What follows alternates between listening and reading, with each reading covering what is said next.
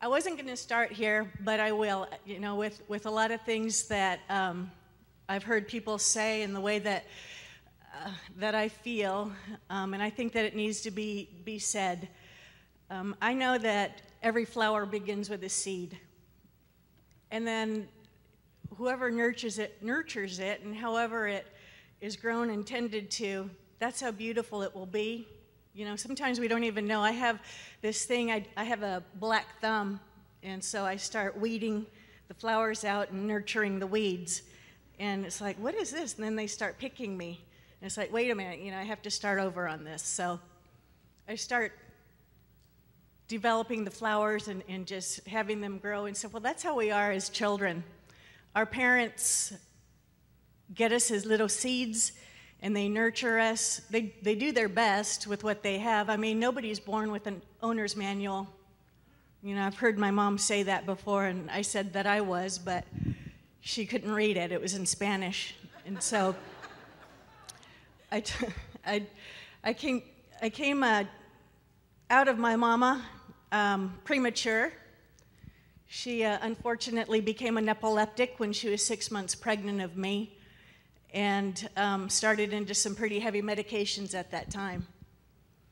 I was born a little bit early, not too early, but um, because she was having 8 to 12 grand mal's epileptic seizures a day, she couldn't take care of me. And uh, she had told me that she couldn't take care of me because she had the other three children to take care of. I, I understand that. I do today. But growing up, I didn't get it. I thought that you know, I just, I was just one of those weeds coming out in that garden. And so I went to live with my aunt and uncle um, at six weeks old. My parents would come visit me often. Um, my aunt would uh, love on me, and I was her baby. And I get how that is. I mean, I'm an auntie almost like 40 times. And I love my kids. I do. You know, they're, they're just awesome. I don't have the opportunity to know each of them, but um, I love them very, very much. They're my family. It wasn't until I was about two and a half years old that my mom said that she brought me home for the weekend. And she went to give me a bath. And so, you know, I mean, babies are innocent. You know, you don't know what you're saying, you just know what's going on at the moment and I asked her to, um, you know, forgive me, but this is this is a personal testimony, but it needs to be said. We need to talk about what's going on in our lives so that we can be set free. I don't mean to offend anybody with what I'm going to say at all. I'm just going to say it because you know what? I'm, I'm tired of keeping my mouth shut over sin. It's too bad. But I was molested, and I asked my mom to tickle me the way that my uncle used to and she asked, Show me. And I did. Well, I got to come home. My mom and dad went and packed my little bags, and I came home. And of course, at two and a half or so, I mean, I don't know what's going on. You know, I just know that this is where I am. There's three other people here, and my mom and dad, and so on and so forth. My mom continued to have her epileptic seizures, and I would see that, and it was pretty rough. The boys would try and put us in the other room, but I'm, I'm real nosy. Even then, I had to see what was going on. All through my life, I wanted to be loved. And because of that little seed and how that seed was being developed, I thought that love was through sex. I thought that I had to be touched in order for somebody to show me that they loved me and that I was supposed to reciprocate that. And I never said anything. I was, you know, of course, told, you know, you don't, you don't talk about these things. And so that started developing a mentality in me where I became a good secret keeper. I didn't say anything, you know. By the time I was 14, in December of 1970, my brother David came home um, he was a Lodi, he, you know, just crazy, crazy guy. And I admired that. You know, I, I would pinch his stash, like he said, you know. I mean, and there were Twinkie wrappers there were all over the floor. And so I would, I would pinch his stash. Sorry, David, I don't know if you knew that, but I made some money.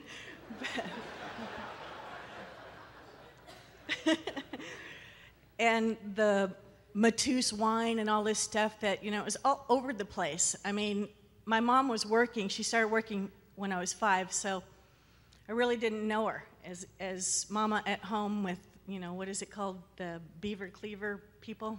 That was not us. And so Madeline and I, my sister, would come in and, and we'd cook. We learned to cook at like five and seven years old on stools. We had my dad's supper ready at about, about seven o'clock. So David started partying a lot, and so I just I wanted to be like that. You know, I, I admired him. And so I partied along by myself. I, I would never do it in front of him. He wouldn't let me. You know, he warned his, his male friends, you know, like, stay away from my sisters, but you know, in the back I was like, I'm over here, you know. and so, you know, I mean, just, just going crazy. When David came in after he had accepted the Lord, um, I thought that he was just coked out. You know, I mean, he's just really wired, and it's like, oh, you went, you switched drugs, drug of choice. I guess I'll have to. And so, he comes in, he's all wired and everything. He goes, and he's washing his hair under the sink in the bathroom. I found Jesus. I found Jesus. And I'm like, you know, where? You know, my mom comes in and she was, oh no, he's on acid, I know it. You know, and it's like, where is it? No, so he, he was over there all, you know, all excited and everything. Well, within that period of time, he brought our family to know Jesus Christ. And um, I had like a wonderment. It's like, you know, what is this? You know, is this, is this the love that I'm supposed to be feeling? And so shortly after that, David went into the service, and my sister Madeline started working. She wasn't around, nobody was around. And so I decided that um, I was going to try, we would go to Costa Mesa, Calvary Chapel, Costa Mesa. It was awesome at that time. And so um, everybody was gone. I started high school, I was in high school, and, and um, somebody invited us to go to summer camp a young lady, a friend of my sister's. And so I thought, well, that would be great. You know, I, I want to, you know, be around people my own age, I guess, and you know, because I'm used to being around older people, and I guess people around my age or younger, and and get into a church. You know, I really want to do that. So, I decided to go to summer camp, Camp Seely, and this was a, a little church in Santa Fe Springs, California.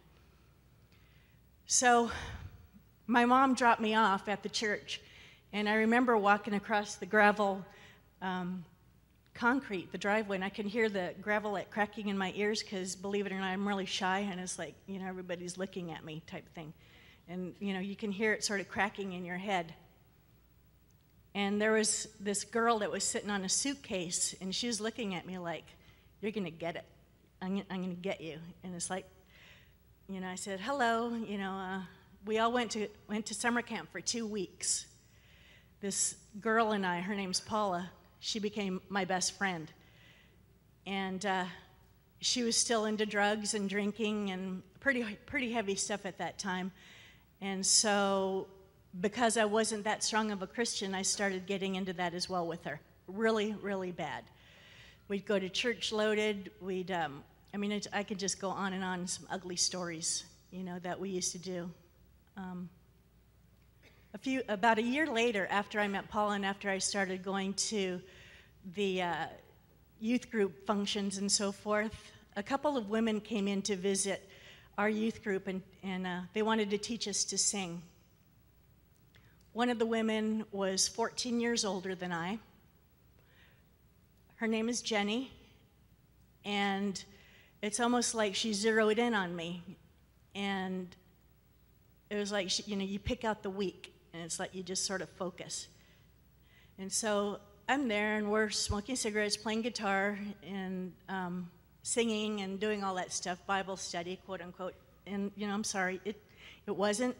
You know, you had about 16, 18 young people, and it just wasn't um, Bible study.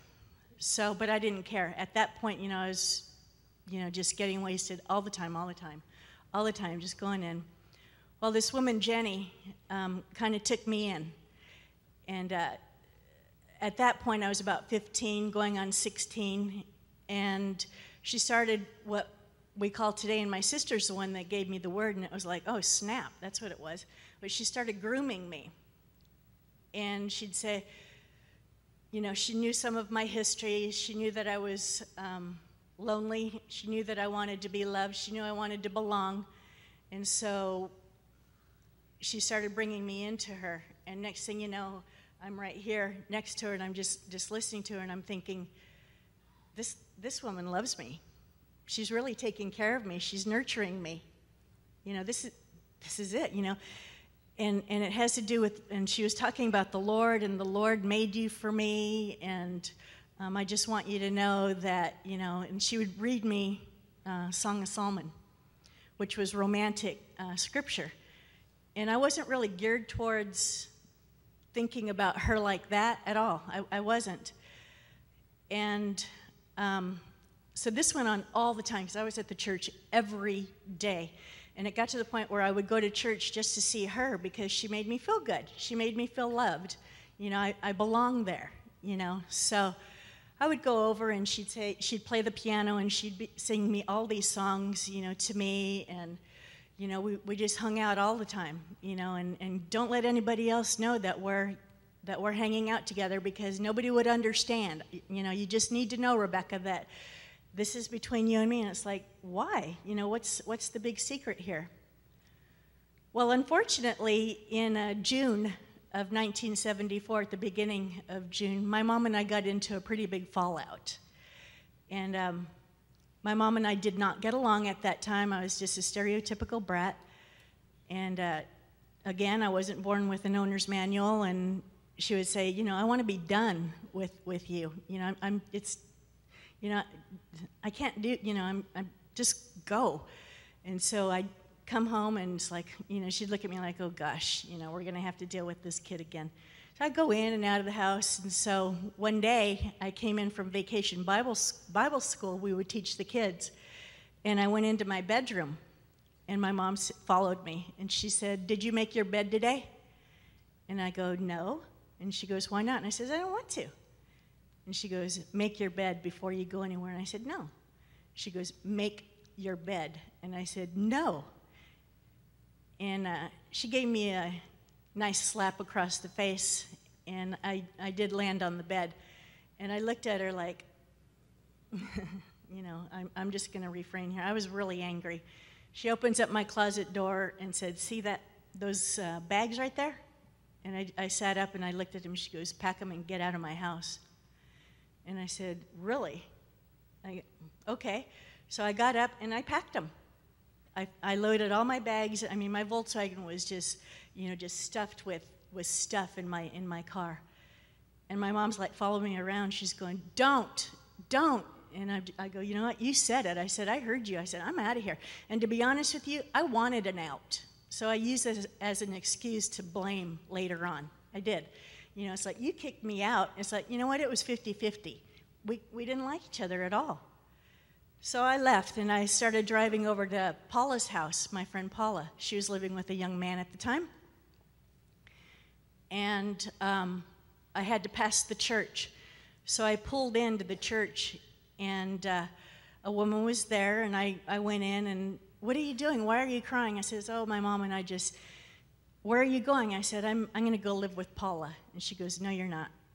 She called Jenny on the phone, and uh, I went and lived with Jenny. And so there I am. She had my own bedroom, she had two children, and so I was all like family type feeling. Um, I was 17 at the time, and we were getting ready to go on tour because with this church, we would go around the USA and sing, you know. And here I am all loaded. What a hypocrite. I mean, this is just crazy. And so we're just going around and doing all this, all this stuff. And so uh, on August 4th, 1974, I turned 18. And um, we were in Wyoming, Casper, Wyoming, at an armory.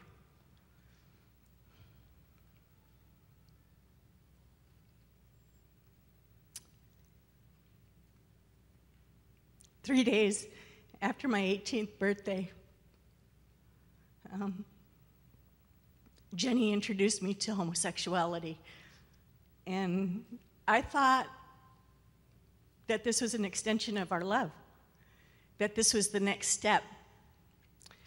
So I was starting to be convinced by her that I should have been born a boy, because if I were born a boy, we could get married. She's 14 years older than me. And um, when we get home, I mean, she was pretty explicit with, um, with her plans for me, to be honest with you. And it was like, okay, you know, I guess this is what we're supposed to be doing. So we got back to Santa Fe Springs. And um, for a few years, we carried on this secret relationship. At that time, I was seeing a young man, and I was at, uh, forbidden to see him. And there was another young man in the church that I was, I really was in love with, you know. So I was dating a couple guys and in love with one, and he was just the sweetest thing. But I would get in trouble for talking to him, you know, and I'd look at him and it was like, you know, I just want to, I want to spend time with you. I, and we never, you know, I mean, it was just, I just loved him very, very much. But when Jenny would get me in the church, in the back, in the rooms, in the bathroom, at the house, at several hotels. She took me. Um, I was scolded pretty bad and said, You know, you can't be doing this. You're mine. You know, you were born for me. You were born for me to love. You are mine, Rebecca. You are mine. And you've got, you know, and it was just going on and on. It's like, okay, you know, I, I get, I get it. And you can't start, you can't hang around with this person. You can't hang around with that person. Well, I started really, really getting into cocaine. That was my drug of choice to the point of um, dealing it. And um, I mean, kilos and kilos and carloads of cocaine I was transporting back and forth. Um, and that was from meeting some people where I worked at Burger King. And so I'm just going back and forth. At that time, I had just, I was just, they used to call me a baby elephant and a coconut because we would just, I mean, just blast you know, the cocaine over and over every day, every day. I got to about 94 pounds, and I was also on a lot of speed because I'd take speed to wake up, do coke during the day, smoke pot to go to sleep, and drink and drink and drink and drink.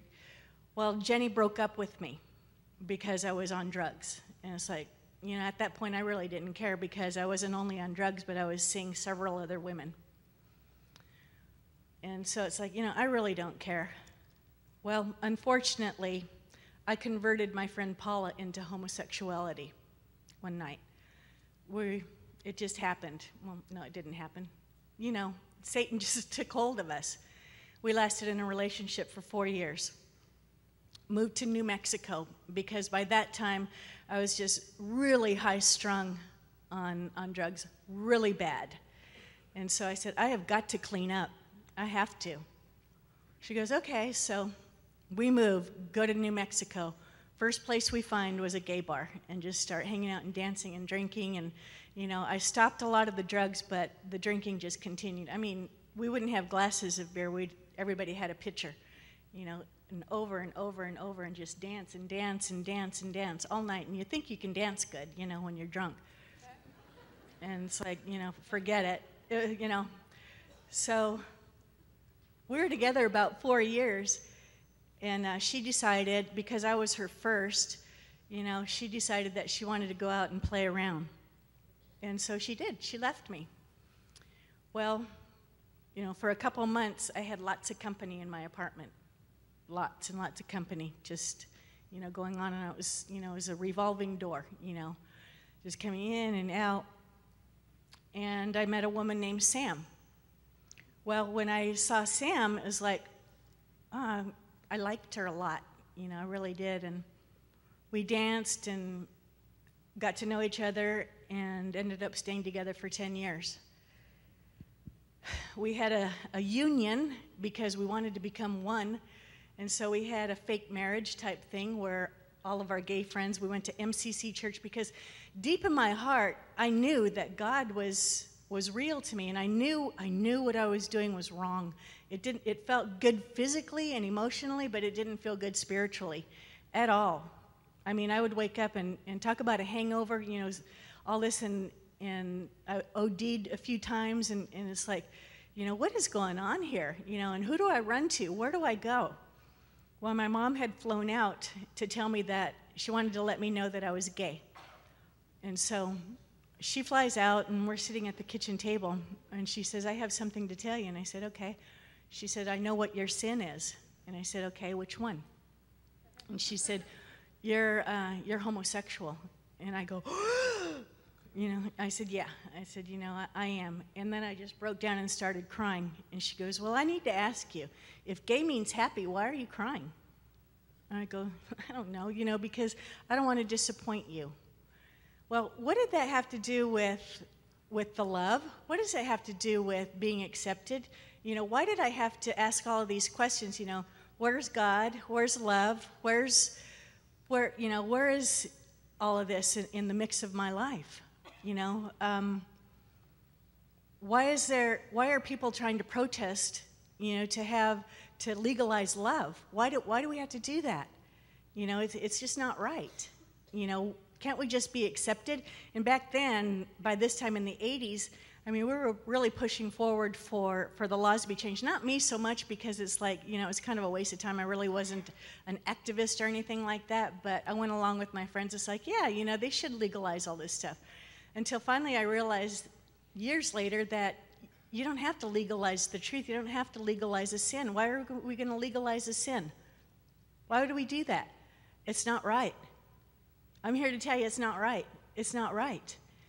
You know, um, after Sam and I broke up after about 10 years, I went into another relationship with a woman named Tamara. And we were together about 10 years again.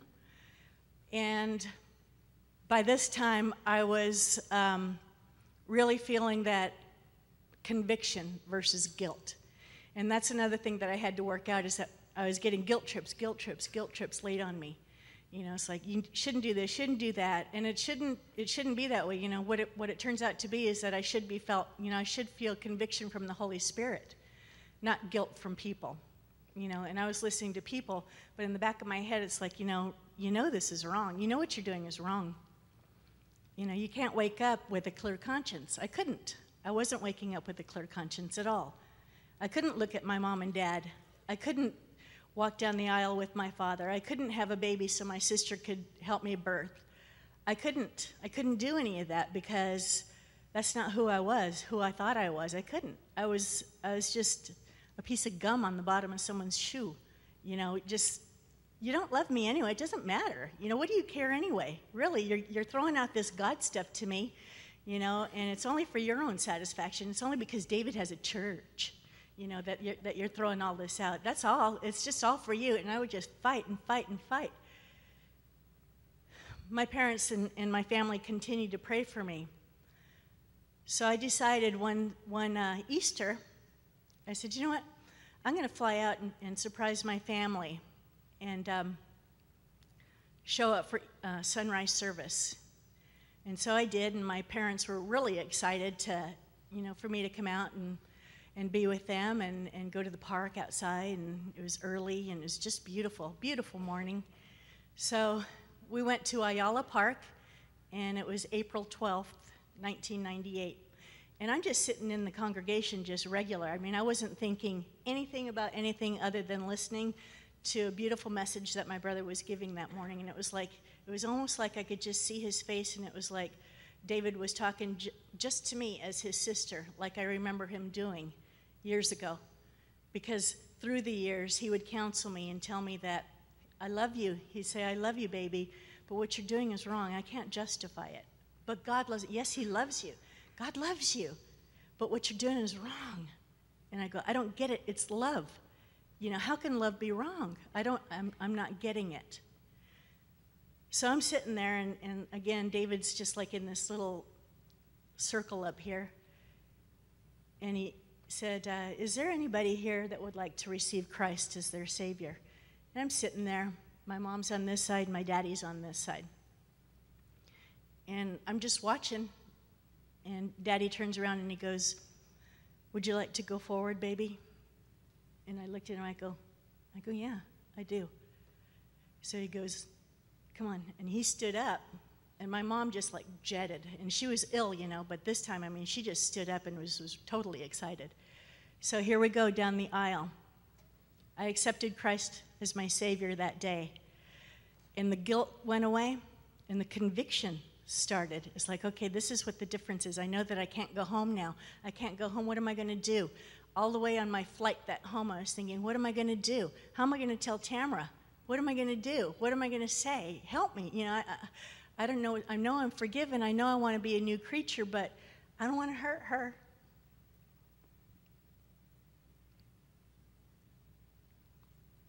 It took a little while for me to to stop doing what I was doing. I have to be honest with you. It was an instant spiritual conversion, but it wasn't an instant physical conversion. I, and, and sometimes it takes us a little longer. You know, a lot of people think that, you know, once we accept Christ and it's all gone and we open up a new door and, and all of this, but it did, that, that wasn't how it happened with me. I was struggling a lot. I had a lot of gay friends, and I love my friends. I still have some of them today and they know how I am today. And we talk, you know, about everything that went on, and, and I talk about the Lord, and, and they know, you know, how I am. They come to me when they know that something's going on in their life. You know, they'll secretly call, you know, or text or something and say, Beck, you know, something's going on here. And they know that I'll pray for them. And I do, and I will. I always will. So finally, um, I told Tamara, I said, I can't, I can't do this you know, I can't. My, my life is dedicated to Jesus Christ. And at this point, I was starting to feel sad because my father had already passed away. And I was thinking, I never gave daddy a chance to walk me down the aisle. I, I just can't believe it. I never got married. And now that I'm straight, you know, I mean, I was going through all of this. So I was cleaning out some drawers one day, and David had sent me the videotape of uh, the Easter Sunday service. And so I put it on. It was like, oh, wow, what a trip. So I put it in and was watching it, and I sat there, and there we are, my mom and dad and me, standing up, and there I am with my arm around my daddy's arm, and he's walking me up the aisle to marry my Savior. So he did. He did take me up.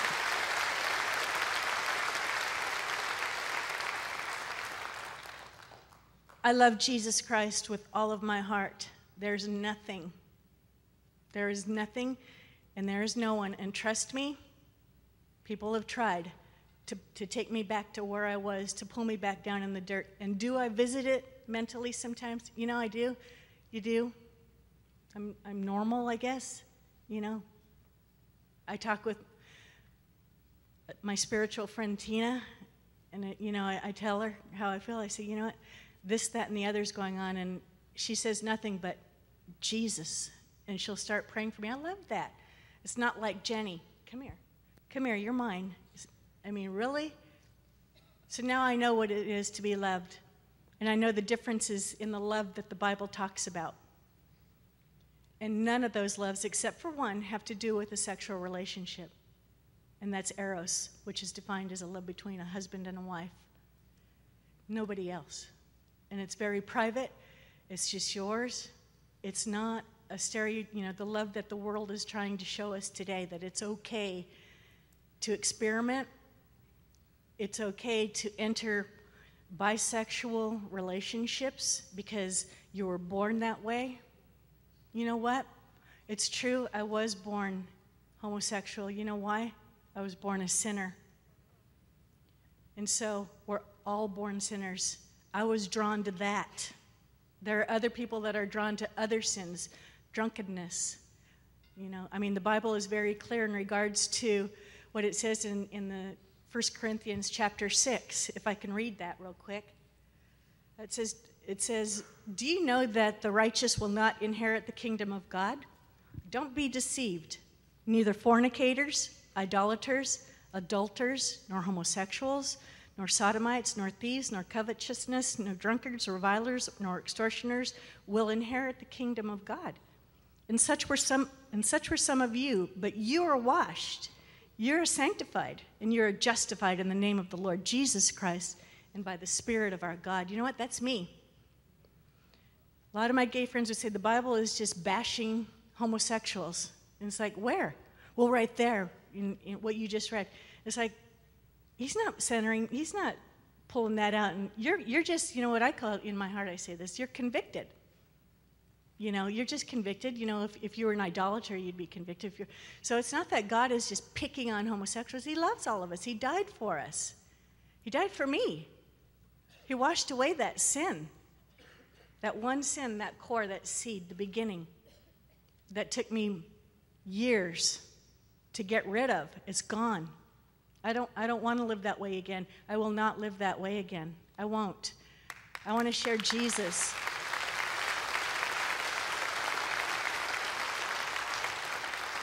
One of the things that I used to say to my family is if being a Christian is being like you, I will not be one. What a meanie. And I said that for years. I was angry, very angry. And I'm going to tell you something that turned me around. I was just like finger pointing, finger pointing until finally one day, and it was April 12th, 1998, where the Lord lifted up my face towards His and said, Baby, I don't want you to be like them. I want you to be like me.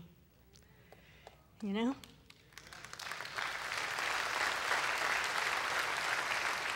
It can be a struggle. It can be a struggle. But I can do all, all things through Christ who gives me strength.